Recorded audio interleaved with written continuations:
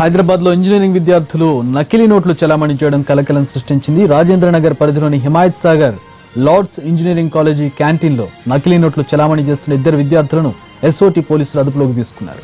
వారి దగ్గర నుంచి ముప్పై ఆరు లక్షల రూపాయలు విలువ చేసే రెండు వేల నోట్ల నకిలీ కరెన్సీని స్వాధీనం చేసుకున్నారు. స్టూడెంట్స్తో పాటు మరో నలుగురిని అదుపులోకి తీసుకున్న పోలీసులు కలర్ ప్రింటర్ నాలుగు సెల్ ఫోన్లు స్వాధీనం చేసుకున్నారు.